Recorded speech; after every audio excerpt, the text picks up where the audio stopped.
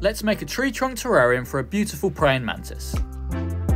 I'm starting off with the drainage layer followed by some window screen mesh to act as a substrate barrier. Next up is the terrarium substrate. I'll write the components for my mix in the pin comment. Now it's time for the hardscape and I've got this big piece of cork bark which I want to act as a tree trunk.